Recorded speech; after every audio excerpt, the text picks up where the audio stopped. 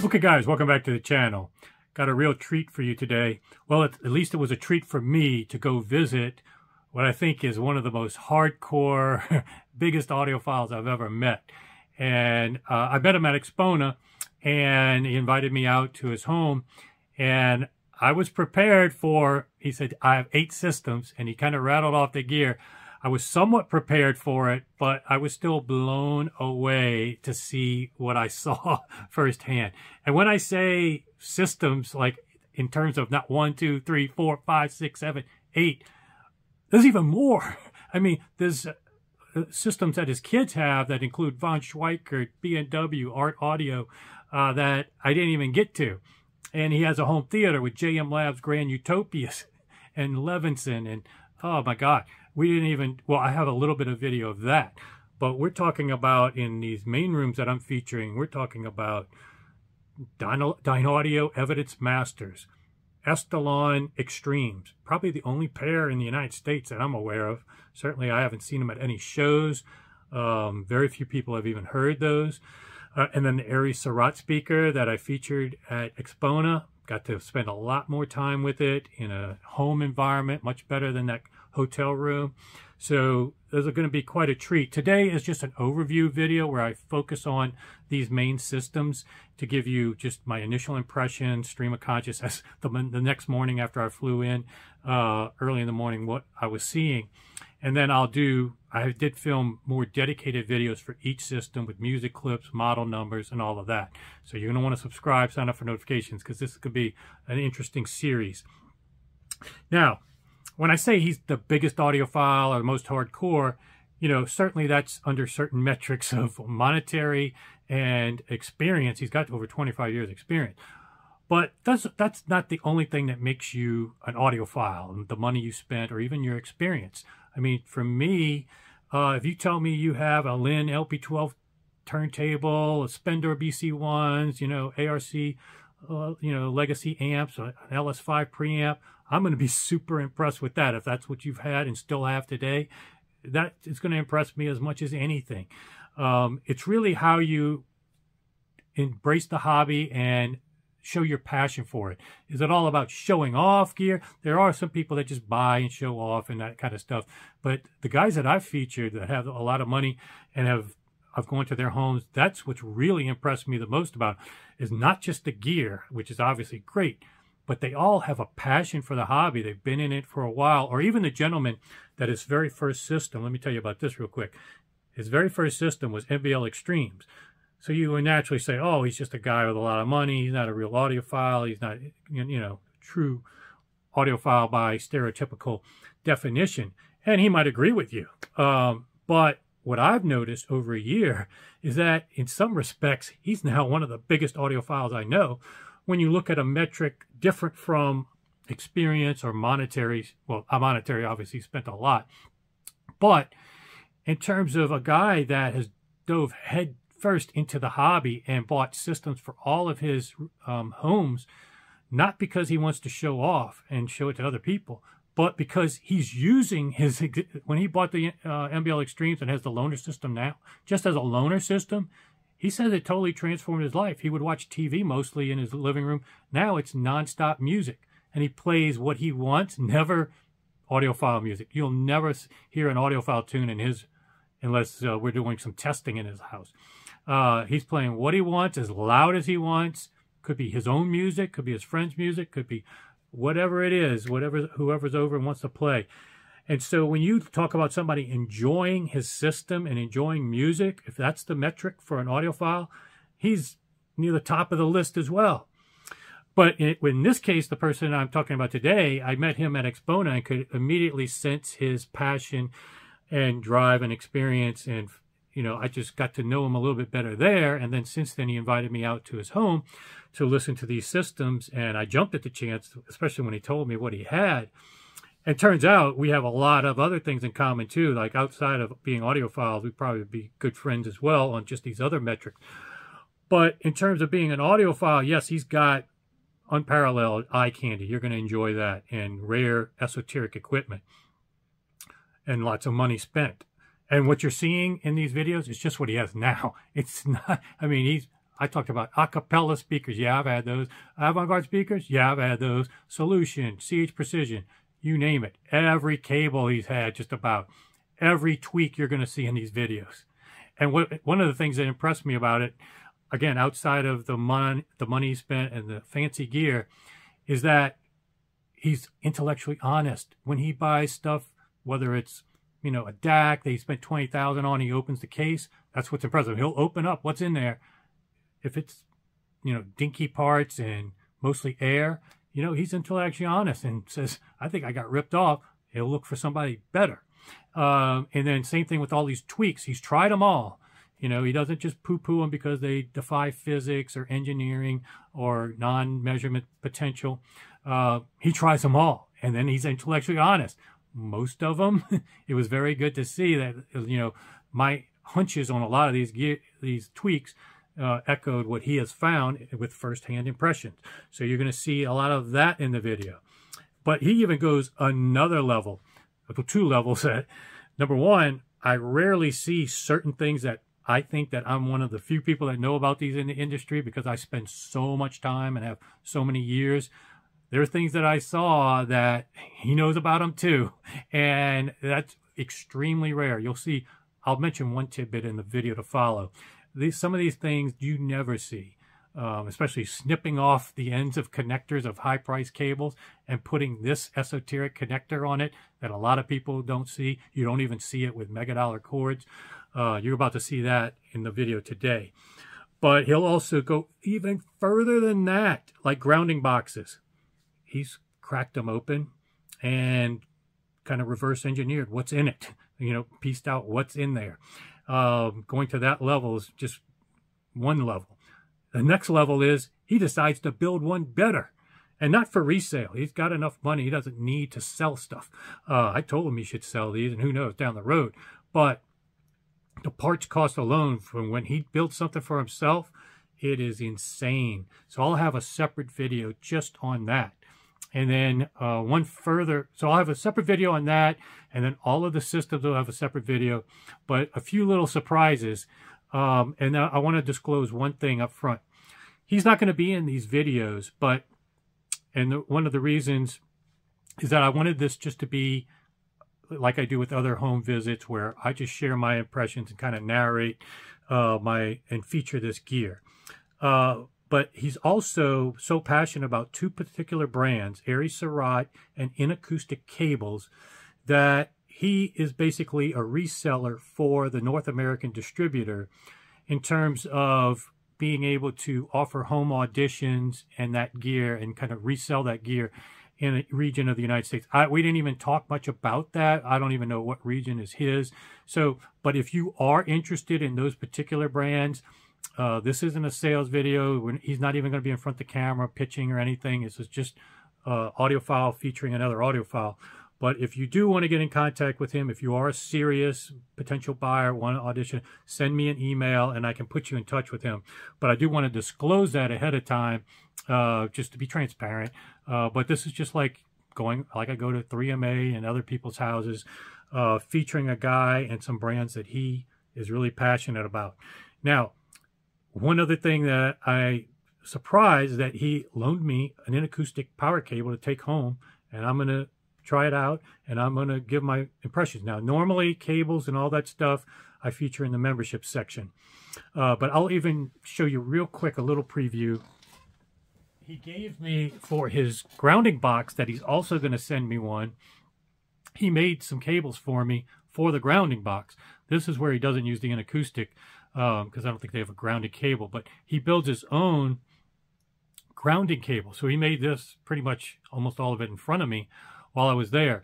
And looking at the parts alone, cost, just cost, and this is why he, he probably could never sell them or sell very little of them, $2,000 worth of cost right here. This pure silver, I mean, this is jewelry grade, big gauge silver. You know, when a lot of cable companies say they use silver, Mm, look at how pure that silver is, number one, and then look at the gauge. Oftentimes, they give you such small gauge that a bigger gauge of copper is actually more conductive than that small gauge of silver. Not in this case. this is really impressive. And then he's got a special slurry um, special mixture that he does for his grounding boxes. I'm not going to disclose that in case he ever decides to sell it and whatnot. Um, but I will, that's also included in this. So you start getting the benefits of the grounding within the cable. Very impressive. That's the level that he goes to on top of just being a guy that you see buys fancy gear. Uh, so again, this is extremely rare to come across somebody with this level of experience and this type of gear. So without further ado, though, let me give you a little taste of it. And then to come is a bunch of single videos on each system. Sign up, subscribe if you haven't already, and I'll see you back here soon. Okay, guys, this is going to be one of the best treats, one of the best things I've filmed on the channel. Um, visiting a gentleman out in Sacramento and obviously beautiful home and has I think eight systems and you're gonna see something you've never could imagine.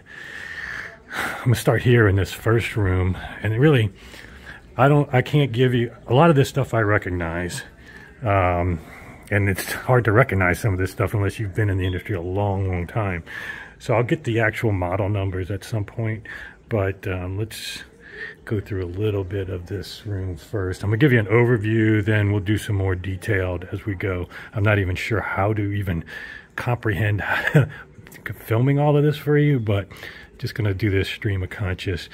Um, these are JBL Everest, I believe. Heard them before. Not my favorite speakers. Um, but man, do they sound good with Kegon. This is something you rarely see. Biamping Kegon audio note amps with the silver, pure silver transformers. I don't think you guys realize pure silver transformers. I think these probably sell for over a hundred thousand dollars, and these are the Western Electric 300Bs, original eight of them. Okay, this is insane. Just seeing this alone is something you rarely see. Um, and then this Aries Cerat gear. Um, this stuff is starting to impress me beyond belief. We took off the cover, and maybe I'll do it in the video again. Um, I didn't video it at the time, but you can do some biasing. All of the Aries Cerat gear allows you for doing some tweaking of the bias. It's got tube complements um, and hybrid design that's really innovative and definitely noticeable, especially on the amps. Uh, we did it on the USB, the DAC here. You want to see under the hood of a DAC? I'll show you this. I know my friend Mikey's been showing under the hood of the DAC, which is really good because a lot of these, cracked open the hood of a of some of these other DACs and see nothing but open air. Um, you're going to see about the amount of DAC chips in here alone. Again, none of this guarantees good sound, but trust me, you're talking about a company that thinks of everything with this Aries Cerat gear. Um, and I got to say, my initial impressions when I first saw them, I thought, oh, just another fancy chassis. They went all out. No, once you hear it, once you get into it, um, understanding it and hearing, and they think of everything and their manual comes in a hardcover book. I mean, literally everything is thought of. But again, there's so much to digest here, just in this room. Okay, this is just the first room he took me to, his most modest budget system. These probably go for about 50 grand. Uh, I don't even want to get into the pricing and exact model numbers. Obviously, this one's I guess called the Cassandra, um, and those are the Kegons. But one thing that really gave uh, one thing that's legit, very few people will know what this is. And I know what a Bocchino connector is. Maybe a couple other people know what a Bocchino connector is. This, for a guy like him to add this after the fact to Inakustik cables is, as you can tell, he does all these tweaks. He's got Shakti stones. He's got all these synergistic research stuff, all the other tweaks and stuff. And what's really impressive about him is that he'll tell you half of this stuff, you know, doesn't even make a difference. He doesn't even use it anymore. But he tries everything. so he's got grounding boxes, and now he makes his own grounding box. and we did an A/B demo of this. And again, I've never been a big fan of most tweaks, and especially um, grounding boxes. Something I wanted to toy with in the future. This one, he's done it with his own.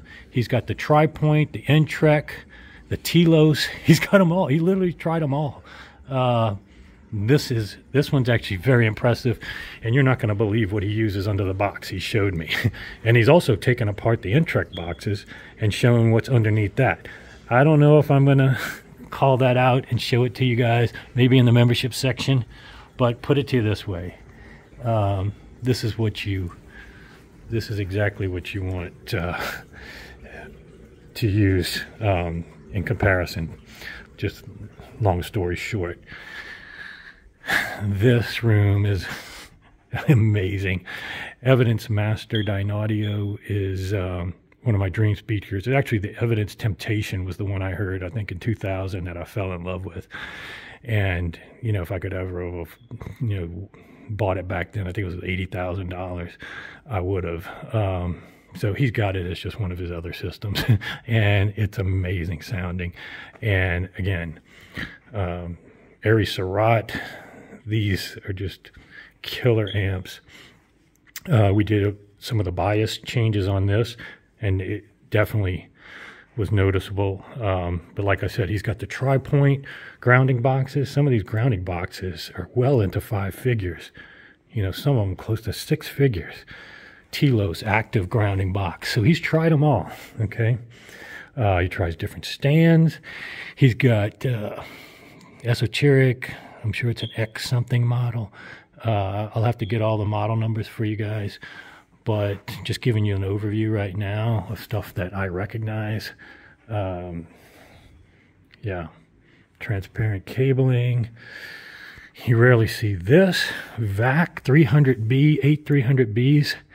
and this was uh, quite a rare piece that you don't see often. Uh, there's a Bricasti, I recognize that. I don't know what else we've got over here. He tries everything, guys. Uh, and you rarely see the center channel matching for the evidence temptations. That's just sick.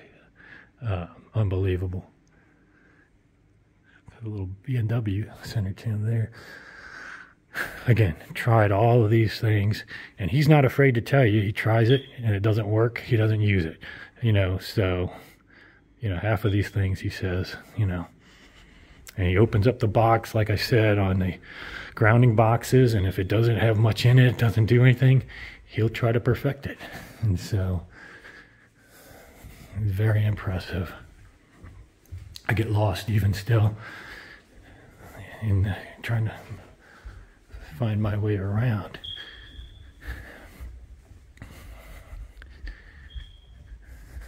oh, just amazing. So um, he gets toys in all the time, and he's got some new cabling he's putting in. As you can see, some in acoustics. Just an amazing house. I've never seen an island this big in my life. I mean, it's just incredible. And what's also cool is you'll just see spattered about audiophile stuff here, there, everywhere. you know, it's a true audiophile home. Everywhere you turn. Uh, he's a foodie. He's got awesome kitchen. Did some cooking this morning. Killer stuff. These are the um, title or Tidal, however you pronounce it. Um, these aren't the Akiras. These are the sand, uh, sun, sun, Sunray, I think. Yeah. I'm gonna have to get all this for you. I'm just going based on memory of what I've seen. Um, another gentleman is over right now, uh, taking a listen. One of my subscribers actually decided to come on out, and uh, he's listening to the Aries Cerat. I'll give him a chance to do that. Okay, ASR gear. This is extremely rare, not something you see that often. Um, sorry, it's a little dark. Um, I'll try to get some better pictures later. Just trying to give you free-flowing ASR gear. Killer. Um, I think they'd use a lot of battery um, powering as well. Rarely see that. Rarely see these. Um, okay, Rel 25. G1. This stack is amazing. And guess what it's mated to? You guys recognize it from the behind? already. And then this pair is already leaving to my to my friend's home on uh, next week. He's actually coming to pick them up. The Aries Cerat. So these are going to be gone. Wavac.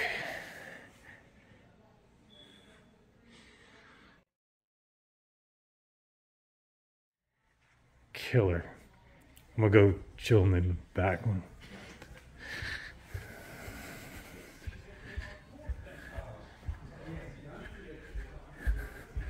So, oh, there is a home theater with JM Labs, uh, Grand Utopias. I'm sure many of you in the hobby long enough to know that Focal used to be JM Labs and what that used to look like and sound like. Um, I'll show you that at some point. This SUV, this Lincoln is bad. The most comfortable seats I've ever been in in my life. There's a Bentley back there. This room is a little bit dark, but this is his dedicated listening room. You can see the treatments. The walls are actually this thick with uh, insulation, he said. And yeah, you could probably even tell my voice as I'm talking in here how much more natural it sounds. And Lighting is a little bit limited. I think we got the max lighting, so I apologize. Um, wait, I can probably do it. Okay. Zoom in a little bit more. I can put on the flash. He's got the um, six-pack carbon carbon specials. Only place you'll see Estelon Extremes probably in the North America until 3MA opens their dealership in uh, Las Vegas. Aries Cerat, their mega top of the line gear. Just amazing sounding. Um, and the ability to change the bias. I don't even want to get into too much of the technical talk. Um, I'm going to be scheduled to do at some point in the near future uh, a call with the uh, owner and designer to get more details. So I don't want to misspeak, but um, the ability to control the bias mainly on the input and then this triode FET, I believe it's called. He's got books of the, uh, let me show you real quick. You get a manual that is second to none hardcover book when you buy these and yeah, it is just much like I've featured when I've done the um, the Wilson audio. It's got adjustable gain, adjustable bias. Some of the things you want to only set with professional help, but yeah, the experience of owning Aries Cerat gear, the everything they think of from chassis to sound to customization and how audible it really is when they do when we, do, when we have done the tweaks so far changing has been very noticeable that I wouldn't have expected. Uh, certainly on the amps um, but we've also done it on the preamps and the DACs. I mean you look under the hood of these it's just insane. I don't know if you can even see. Look at the size of that can you see the terminals at the top? And the, I mean, that looks like a 16 inch high capacitor, um, but I don't even think that, I have no idea. I just want to learn a lot more about this because sound wise and design and just everything about it has really taken my impressions of Aries Cerat from just another Me Too company doing fancy chassis, but same old design. It's not the case though with these guys. These are really doing innovative stuff inside the chassis, as well as the chassis, the buying experience and all together. So, and there's an ecosystem advantage to using their components together. Um, although, as you've seen in the other room, you can mix and match. He's mix matched uh, Wavac with Aries Cerat.